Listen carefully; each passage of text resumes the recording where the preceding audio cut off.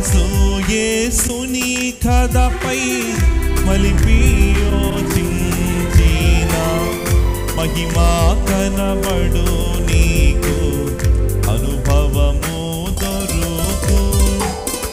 వినరయ్యా వినారయ్యా యేసు ప్రభావము గణరయ్యా క్రీస్తుని ఘన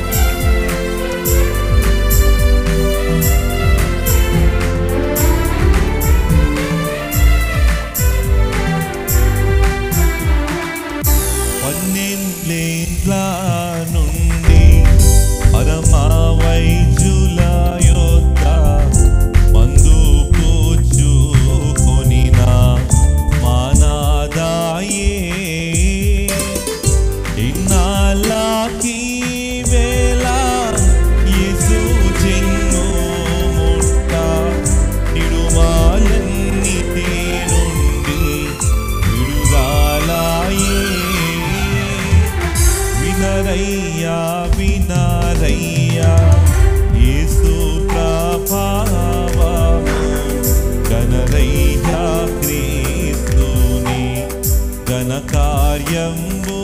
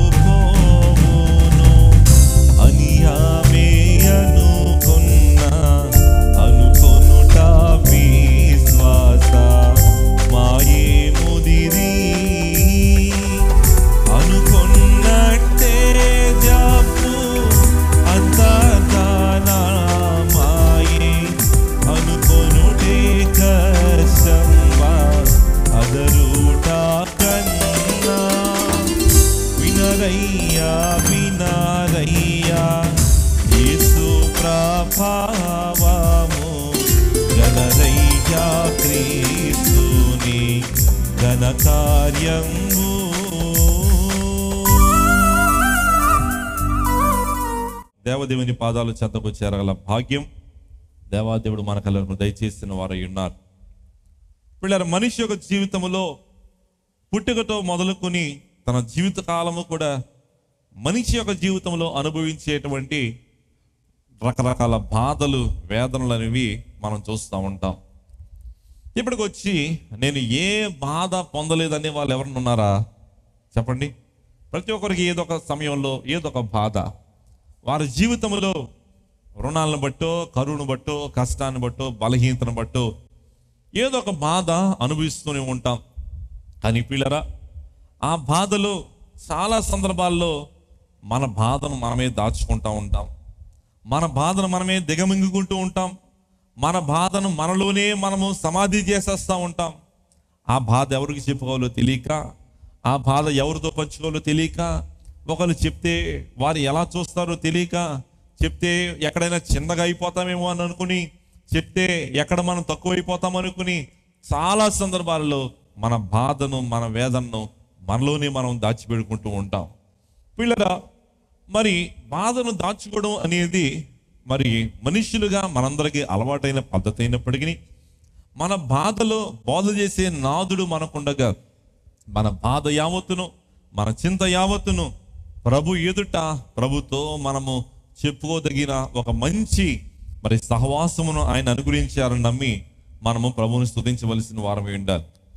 వీళ్ళరా ఒకనొక దినమున ఒక వ్యక్తి మరి తన బండి మీద వెళ్తూ వెళ్తూ ఉండగా మరి అక్కడ ఒక గుర్రం మరి ఫాస్ట్గా వెళ్తూ ఉందంట.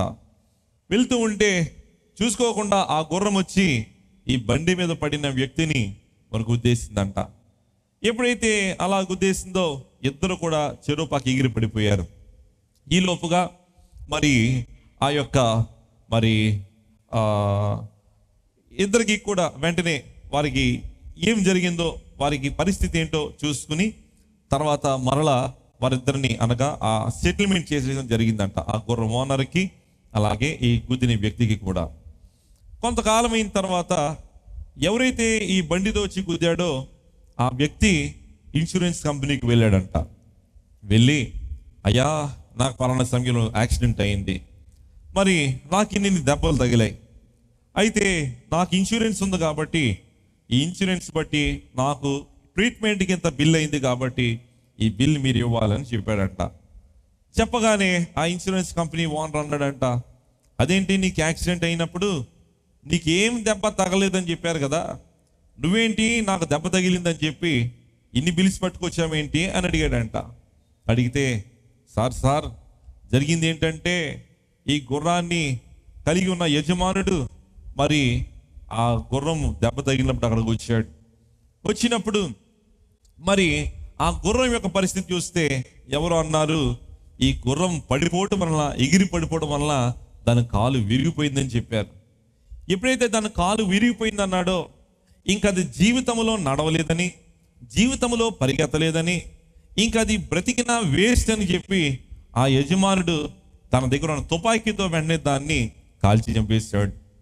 అదే తుపాకీ నా దగ్గర పెట్టి నీకేమన్నా తగిలిందా అని అడిగాడు. అయితే తగిలిందంటే నన్ను ఎక్కడ కాలుస్తాడో అని చెప్పి నేను మౌనంగా ఊరుకున్నాను అన్నాడంట. వీళ్ళ చాలా సందర్భాల్లో మన బాధ చెప్పుకుంటే మన కష్టాన్ని చెప్పుకుంటే ఎవరైనా ఏమన్నా అనుకుంటారేమో లేక ఎవరైనా హేరణ చేస్తారేమో ఎవరైనా నిందిస్తారేమో ఇది ఏమైనా చిన్న చూపుగా అవుతుందేమో అని చెప్పి చాలామంది తమ జీవితాల్లో బాధను ఇతరులతో పంచుకోకుండా ఆ బాధను తమ మనస్సుని పెట్టేసుకుంటూ ఉంటారు. అందుకే పిల్లల లోకంలో మనం చూస్తే ఈ దినాల్లో అనేక మంది ఏ ఏ బలహీనతో చనిపోతున్నారు చెప్పండి. అమ్మా మానసిక వ్యాధులు గుండెపోటు హార్ట్ అటాక్స్ వచ్చేస్తున్నాయి. చాలా మందికి హార్ట్ అటాక్స్ రావడం గల కారణం ఏంటంటే తమ బాధను వారు తమ గుండెల్లోనే పెట్టేసుకుంటున్నారన్నమాట. వీళ్ళరా దేవుని వాక్యం నుండి దేవుడు ఈరోజు మనతో చెప్తున్న మాట ఏంటంటే మీ బాధ మీ దగ్గర ఉండవలసిన అవసరం లేదు.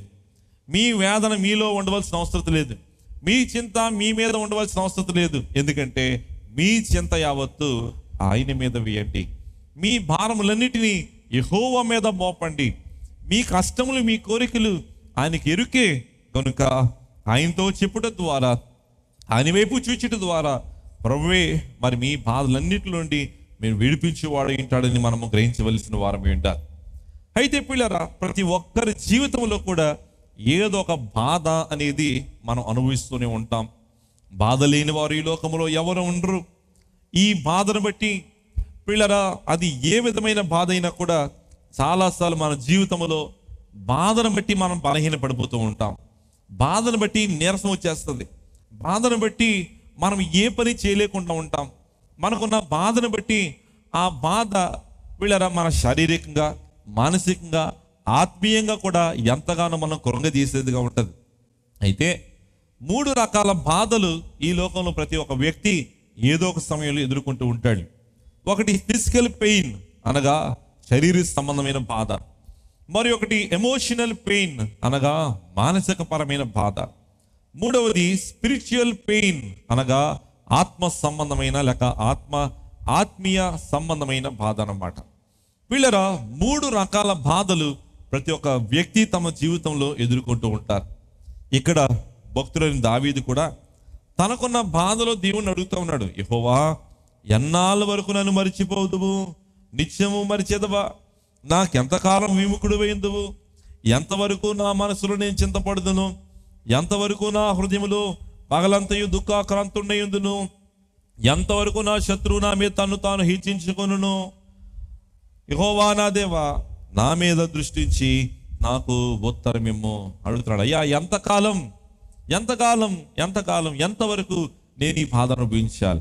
ఎంతవరకు నన్ను నువ్వు మర్చిపోతావు? ఎంతవరకు దీన్ని నేను ఎదుర్కోవాలని చెప్పి అడుగుట మనం చూస్తూ ఉంటాం.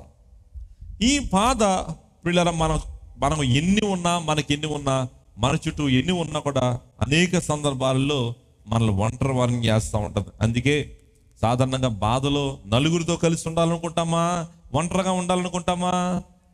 ఒంటరిగానే ఉండాలనుకుంటాం. నేను బాధలో ఉన్నానంటే ఏ ఒక వ్యక్తితో మాట్లాడడానికి ఇష్టపడను. నేను బాధలు ఉన్నాను కాబట్టి కొద్దిసేపు నన్ను వదిలిపెట్టేసేయండి నేను బాధలు ఉన్నాను కనుక నాతో ఎవరు మాట్లాడద్దు నన్ను ఎవరు డిస్టర్బ్ చేయొద్దు నన్ను ఇలాగే వదిలిపెట్టేసేయండి అని చెప్పిన సందర్భాలు కూడా ఉంటాయి. పిల్లరా బ్యాడ్ న్యూస్ ఏంటంటే ఈ బాధ అనేది ప్రతి ఒక్కరు తమ జీవితంలో అనుభవించేదే. అయితే ఈరోజు ఒక గుడ్ న్యూస్ కూడా మీ మధ్య ఉంచాలని నేను ఆశపడుతున్నాను. అదేమంటే మీ బాధ మీరు ఒక్కరు మాత్రమే అనుభవించవలసిన అవసరం లేదు. మీ బాధ మీరు ఒక్కరు మాత్రమే భరించవలసిన అవసరం లేదు. మీ బాధ మీరు ఒక్కరు మాత్రమే ఎదుర్కోవలసిన అవసరం లేదు కానీ ప్రభైన దేవుడు అంటున్నాడు మీ చింత యావత్తు ఆయన మీద వేయండి.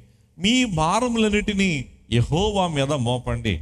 పిల్లరా మన బాధ మన కష్టమును మనం ఒంటరిగా అనుభవించవలసిన అవసరం లేదు కానీ మనతో పాటు వీళ్ళరా మన బాధను పంచుకోవడానికి మన ప్రభు అయిన దేవుడు మనకున్నాడని నమ్మి ప్రభువును మనం స్థుతించవలసిన వారం ఏంటారు ఈ ఉదయకాల సమయంలో ఇటువంటి బాధ కలిగిన ఒక ఇద్దరు వ్యక్తులను నేను చూపించాలని ఆశపడుతూ ఉన్నాను. వీళ్ళ గతంలో మరి ఒక సందర్భంలో వీరి గురించి మనం ధ్యానించాం. మరలా ఈ దినము సందర్భానుసారంగా ఈ ఇద్దరు వ్యక్తుల గురించి మనం ధ్యానం చేసుకుందాం. మార్కు సువార్త ఐదో అధ్యాయం ఇరవై ఒకటో వచనం నుండి నలభై మూడు వచనాల వరకు మనం చూస్తే ఈ వాక్య భాగంలో ఇద్దరు వ్యక్తులు బాధ అనుభవిస్తున్న ఇద్దరు వ్యక్తులు మనకు కనబడుతూ ఉంటారు. పిల్లరా తమ జీవితంలో సర్వాన్ని కోల్పోయి తమ జీవితంలో భయంకరమైన బాధలు అనుభవిస్తూ తమ జీవితంలో ఏమాత్రము నిరీక్షణకు ఆధారం లేనటువంటి స్థితిలో ప్రభువును పట్టుకొనగా ప్రభువును హత్తుకొనగా వారి బాధ నుండి ప్రభు విడిపించిన విధానము ఈ చరిత్రలో మనం చూస్తాం. మార్కుసు వార్త ఐదో అధ్యాయం ఇరవై ఒకటో వచ్చము నుండి మనం చూస్తున్నప్పుడు పిల్లరా ఒక తండ్రి మనకు కనబడతా ఉన్నాడు. అలాగే ఒక తల్లి మనకు కనబడతా ఉంది. పిల్లరా ఎవరయ్యా ఈ తండ్రి అంటే ఆయనే యాయిరు. పిల్లరా చాలాసార్లు మన జీవితంలో యాయిరు యొక్క జీవితంలో జరిగినట్లుగా అలాగే స్రావం కలిగిన స్త్రీ కూడా ఇక్కడ మనకు కనబడతా ఉంది. ఈ స్రావం కలిగిన స్త్రీ తన జీవితంలో బాధ ఎదుర్కొన్నట్లుగా మనకు కూడా చాలాసార్లు ఇటువంటి పరిస్థితి వస్తూ ఉంటుంది. పిల్లరా ప్రస్తుత సమాజంలో కూడా మనం చూస్తే ప్రస్తుత ప్రపంచంలో కూడా మనం చూస్తే ఎక్కడో శాంతి లేదు సమాధానం లేదు. పిల్లరా మరి ఎటు చూసిన విచ్చలవిడితనం అనేది మరి లోకములో పేట్రైపోవడం అనేది మనం చూస్తూ ఉన్నాం. చాలా దొంగతనాలు అలాగే చాలా మరణ హోమాలు మరి ఒక ప్రక్క అత్యాచారాలు మరి ఒక ప్రక్క కుటుంబంలో శాంతి లేకపోవడం సమాధానం లేకపోవడం తల్లిదండ్రులకు బిడ్డలకు మధ్య అన్నదమ్ముల మధ్య అక్క చెల్లెల మధ్య భార్య భర్తల మధ్య మరి ఒక ప్రక్క అక్రమ సంబంధాలు. పిల్లలు ఇటు చూసిన ప్రపంచమంతా కూడా అల్లకల్లోలమైపోతున్న పరిస్థితుల్లో ప్రస్తుతం మనం ఉన్న వారమై ఉన్నాం. అయితే పిల్లారా ఈ బాధ అనుభవించుట అనేది పర్సనల్గా మనము మన జీవితంలో అనుభవించేదైనా లోకములో మనం చూస్తున్నప్పుడు లోకము నుండి కూడా శ్రమ లోకము నుండి కూడా ఈ ఇబ్బందులు బాధలు అనేవి మన జీవితంలో మనం చూస్తూ ఉన్నాం. ఈ బాధ అనుభవించటం అనేది ఇక్కడ ఇప్పుడు ఉన్న మనకేమి కొత్త ఏమి కాదు. ఇంకా చెప్పాలంటే మనకేనా బాధలు అంటే కాదు పిల్లల బైబిల్లో చాలామంది ఉన్నారు ఎవరు వారందరూ బాధపడి బలపడిన వారు అన్నమాట బైబిల్ గ్రంథంలో తమ జీవితంలో అత్యంత కష్టమైన పరిస్థితుల్లో వారు వెళ్ళిపోయి మళ్ళా దేవుని సహాయము ద్వారా దేవుని విశ్వాసం ఉంచుట ద్వారా దేవుని తట్టు చూచుట ద్వారా తమ జీవితంలో అద్భుత కార్యములను పొందినటువంటి అనేకులు మనం చూస్తూ ఉన్నాం. ప్రస్తుతం నిర్గమాకాండ ధ్యానంలో మనం ఉన్నాం.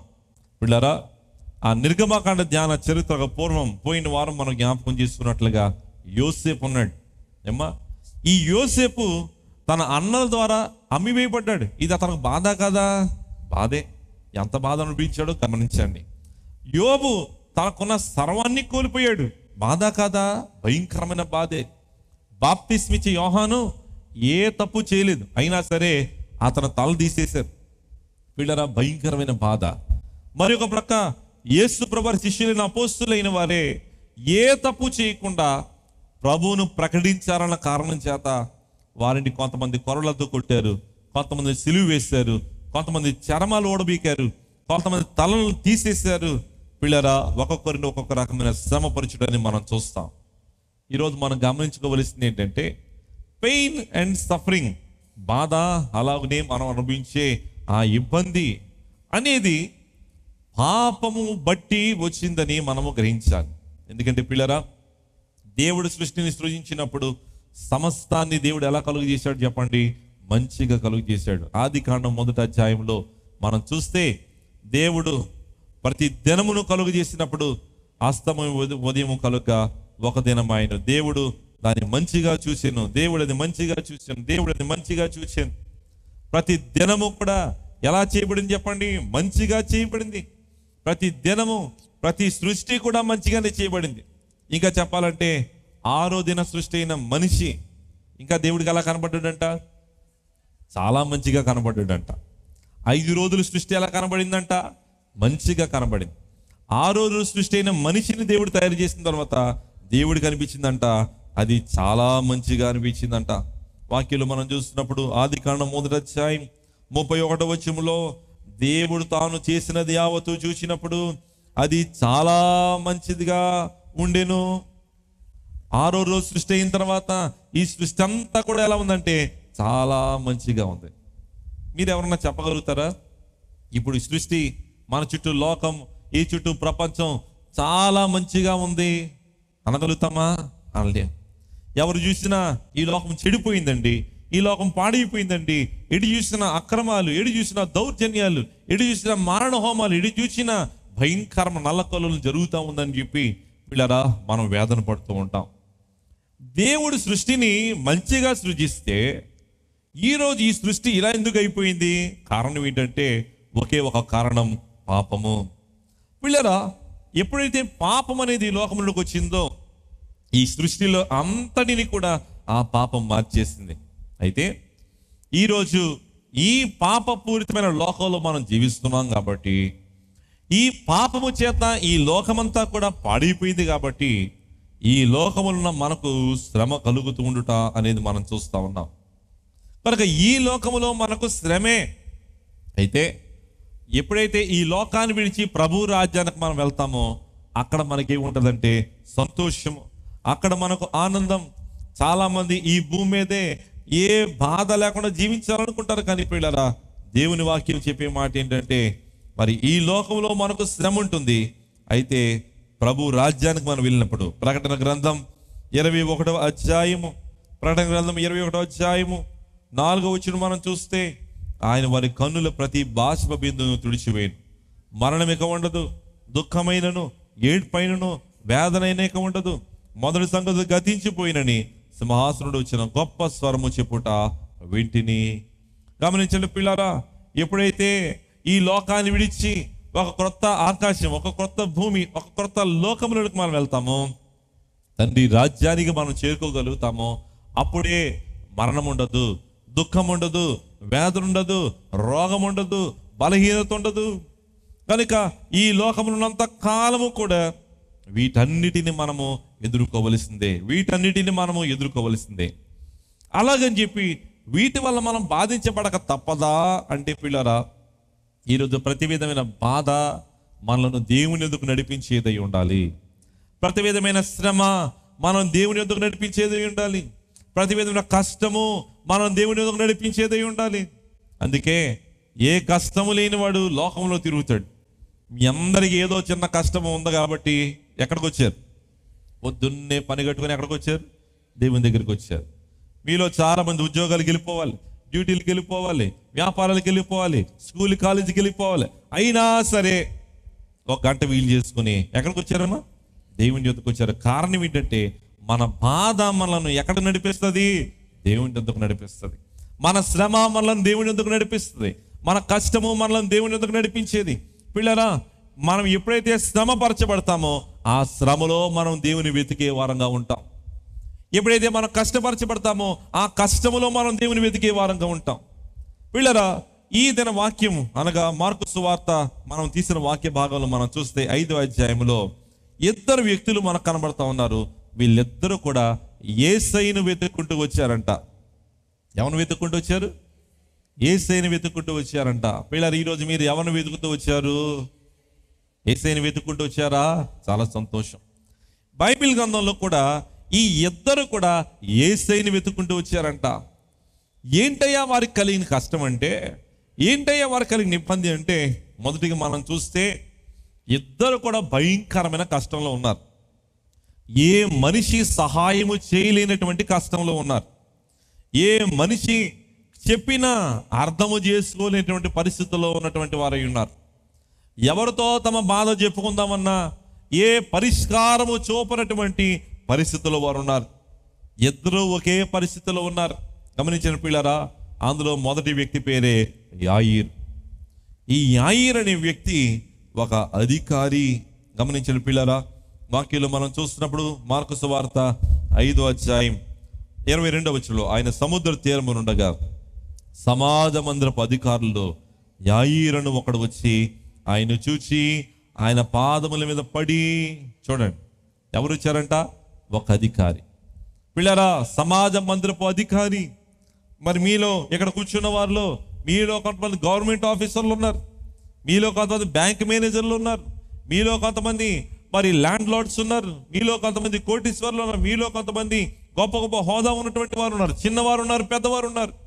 పిల్లరా అయినా సరే మీరు అందరూ కలిసి ఎక్కడికి వచ్చి కూర్చున్నారు దేవుని పాదం దగ్గరికి వచ్చి కూర్చున్నారు ఇక్కడ ఈ సమాజ మందిరం అధికారి ఒక అధికారి కూడా ఎక్కడికి వచ్చాడంటే ఏసై దగ్గర రావడం మనం చూస్తా ఉన్నాం. పిల్లరా తన పొజిషన్ తన అథారిటీ తనకున్న అధికారమును అతడు చూడలేదు కానీ ఇతడు ప్రభు యొద్దకు పరిగెత్తుకుని రావడం మనం చూస్తూ ఉన్నాం. కారణం ఏంటంటే అతని కుమార్తె చావ సిద్ధంగా ఉంది. అతని కుమార్తె ఎలా ఉంది? చావడానికి సిద్ధంగా ఉంది ఇంకోసేపులో చచ్చిపోతుంది. అలాంటి పరిస్థితుల్లో ఎవరిని పంపలేదు కానీ ఎవరు వచ్చారు తండ్రి వచ్చాడు. బాబు నువ్వు వెళ్ళి ఏసైకి విషయం చెప్పి ఏసైని తీసుకురా అన్నాడా? లేకపోతే మరి ఎవరు తన కబురు పంపించి ఏసయ్య మా అమ్మాయికి ఇలా జరిగిందని చెప్పమన్నాడా? లేదు. కారణం ఏంటంటే ఆ పొజిషన్ ఎలాంటిదంటే ఎవరితో చెప్పినా వారు వెళ్తారో వీలో తెలియదు ఆలస్యం చేస్తారేమో తెలియదు కాబట్టి ఎవరినో నమ్ముకోవడం కంటే నేనే వెళ్ళిపోయి ఏసై దగ్గరికి వెళ్ళిపోయి ఏసై దగ్గరే తేలు చేసుకుందాం ఏసైను అడిగేద్దాం ఏసై దగ్గర నుండి ఈ బహుమానం పొందేద్దాం అన్నట్లుగా తానే స్వయంగా బయలుదేరి వెళ్ళిపోయాడు.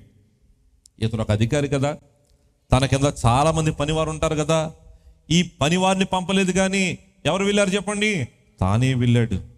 గమనించిన పిల్లరా అవసరం మందైతే మనమే దేవుని దగ్గరకు రావాలి. అవసరం మందైతే మనమే దేవుణ్ణి అడగాలి. ఇక్కడ యాయుడు ఎటువంటి పరిస్థితిలో ఉన్నాడంటే వేరే ఇతర ఎవరినైనా పంపిస్తే తన బాధను సరిగ్గా కనివే చేస్తారో లేదో తెలియదు తన కష్టాన్ని సరిగ్గా చెప్తారో లేదో తెలియదు ఒకవేళ పనివాడిని పంపిస్తే అయ్యా అయ్యా మా యజమాని అమ్మాయికి బాగాలేదండి ప్రార్థన చేయండి అని చెప్పి ఉండేవాడేమో. కానీ యాయిరు ఆ ఛాన్స్ తీసుకోలేదు. వేరే ఎవరికి ఆ అవకాశం ఇవ్వలేదు కానీ నా కష్టాన్ని నా ఇబ్బందిని నా కుమార్తెకున్న బలహీనతను నేనే స్వయంగా ఏసేతో చెప్పుకోవాలని చెప్పి ప్రభు దగ్గరికి పరిగెత్తుకొచ్చాడు. రావడం రావడం తోడనే పిల్లర మనం చూస్తే ఆ యాయిరు ఆయనను చూచి మొదట ఏం చేశాడంట? ఆయన్ను చూశాడు. అందరూ చెప్పండి. ఆయన్ను చూశాడు. రెండవదిగా ఆయన పాదాల మీద పడి ఇంకేం చేశాడంట? ఆయన పాదాల మీద పడ్డాడు. మూడవదిగా చూస్తే నా కుమార్తె చావనే ఉన్నది. అది బాగుపడి బ్రతుకున్నట్లు నీ వచ్చి దాని మీద నీ చేతులు ఉంచడం వల్లని ఆయనను మిగుల బతిమాలు కొనను. మూడవదిగా ఏం చేస్తున్నాడంటే బ్రతిమలాడుతున్నాడు. లేక ప్రార్థన చేస్తున్నాడు. ప్రార్థన కంటే ఇంకా చెప్పాలంటే బ్రతిమలాడుతున్నాడంట. పిల్లరా ఏసై దగ్గరికి వచ్చిన వాడు ఎవరిని చూడాలి? ఏసైను చూడండి. ఏసై దగ్గరికి వచ్చిన వాళ్ళరా ఏసైను చూడండి. మీ కష్టాన్ని చూడొద్దు మీ ఇబ్బందులు చూడొద్దు మీ వ్యాధిని చూడొద్దు మీ బాధను చూడొద్దు మీ పక్కనున్న వారిని చూడొద్దు మీ ముందు వెనకున్న వారిని చూడొద్దు. లేకపోతే మీకు అయిపోతున్న మీకు ఎదుర్కొంటున్న ఇబ్బందులు చూడొద్దు. ఏసై దగ్గరికి వచ్చిన వాళ్ళారా ఎవరిని చూడాలి? ఏసైను చూడండి. ఏసైను చూచిన వారులరా ఏం చేయాలి? సాగిలు పడండి. ఏసై దగ్గరకు వచ్చిన మనము ఏసై ఎదుట సాగిలు పడవలసిన వారం ఉండాలి ఆయనకు నమస్కరించాలి మోకరించాలి. పిల్లరా ఎంత ఉన్నతమైన వారైనా సరే ప్రతి నామము ఆయన ఆయన ప్రతి మోకాలు ఆయన నామం ముందు వంగాల్సిందే. కాబట్టి ప్రతి ఒక్కరు కూడా ఏసే దగ్గరికి వచ్చినప్పుడు నేను పెద్ద ఆఫీసర్ని నేను మోకాలు ఏంటి? నేను కళ్ళు మూసుకోవడం ఏంటి? నేను ప్రార్థన చేయడం ఏంటి? అనుకోకూడదు. పిల్లరా యాయిర్ ఒక అధికారి అయినా సరే మొట్టమొదటిగా చేసిన పని ఏంటంటే ఏసైను చూచాడు. ఏసై దగ్గరికి వచ్చిన తర్వాత ఏం చేశాడు? ఏసైను చూశాడు మీరు కూడా ఎవరిని చూడాలి? ఏసైను చూడాలి. ఏసైను చూడాలంటే కళ్ళు తెరిస్తే కనబడతాడా? కళ్ళు మూస్తే కనబడతాడా? కళ్ళు మూసుకుంటే కనబడతాడు. వీళ్ళరా ముందు కళ్ళు మూసుకుంటే కనబడే అనుభవంలోకి వస్తే తర్వాత కళ్ళు తెరిస్తే చూసే అనుభవం వస్తుంది అనమాట కళ్ళు తెరిచినా కూడా చూసే అనుభవం. కనుక ప్రభు దగ్గరకు వచ్చిన మనము మన మనస్సును ఏసైపై నిలపాలి. కనుక కళ్ళు మూసుకుని ప్రభు తట్టు చూడండి. ఇంకా ఏం చేశాడంటే ప్రభువుని చూచిన తర్వాత సాగిలి పడ్డాడు నమస్కరించాడు ఆయన పాదాల మీద పడ్డాడు. అంత మాత్రమే కాదు కానీ బతిమలాడుతున్నాడు ఏడుస్తున్నాడు అయ్యా నా కుమార్తె చావు సిద్ధంగా ఉందయ్యా. దయచేసి ఒకసారి మా ఇంటికి వచ్చి నా కుమార్తె మీద చేతులుచు ప్రభా దావిదు కుమారుడా అంటూ ఏసయ్య పాదాల మీద పడ్డాడు తన బాధ అంతటినీ కూడా ఏసైతో చెప్పుకుంటా ఉన్నాడు.